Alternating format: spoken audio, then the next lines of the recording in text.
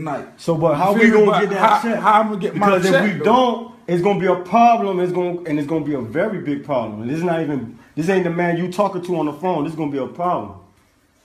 Hey, listen, homie. The nigga can come see me when I want him.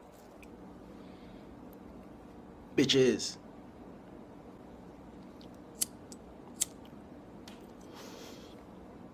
Bitches. I mean, stitches. Bitches. I had it right the first time. Shout out to Flyboy305, GMF Mula, GMF Boss. Don't forget to check out that diss track on uh, SoundCloud called Bitches. Flyboy Beezy, link is in the description below. But um, yeah, real, real, real day kind of niggas, by the way, you did. But yeah, I was, I'm kind of um disappointed in uh, Stitches. I'm, I'm gonna, I'm gonna give you a little benefit of doubt and call yourself Stitches because now you actually have Stitches, so you can call yourself Stitches.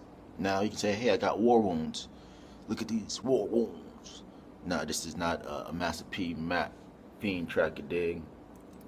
But um, after your your three hour rage and rant, as as the game called it, making your Insta movie, you're better off uh, monetizing it and put it on YouTube. But you drive around for hours, calling the game. Let's see the pussy nigga the game. Let's see what he's talking about. For one, he's handling business, you dig?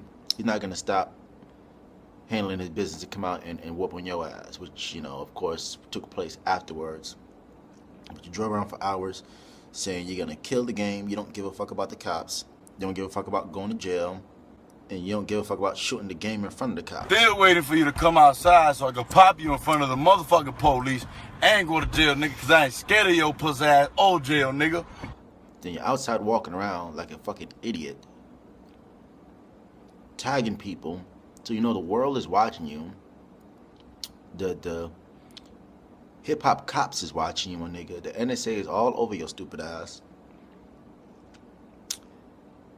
You go and get your ass knocked out. Now I'm kind of upset at the officers for uh, tasing game manager Wack 100 because he did nothing wrong.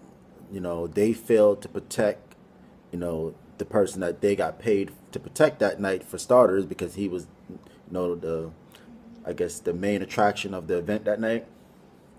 So for them saying, "Hey, stop," that really wasn't stopping, you know, somebody from getting through them after they should have been detained, because it looked at that point he was being arrested, or in the process of being arrested or or, questioned. Then they tased the man after you know defended somebody that that approached them in a hostile manner. You're talking about how you're gonna pop the nigga, but you got arrested for possession of marijuana, driving with a suspended license. So they had every right, and they more likely did search a vehicle for a weapon. They found none.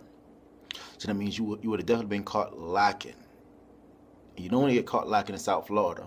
Now, you know, I decided not to rip the, the, your videos last night. Cause I'm like, I'm gonna go back to your page and get it today. You dig, but then you remove this shit. So I'm like, oh, you really pussy.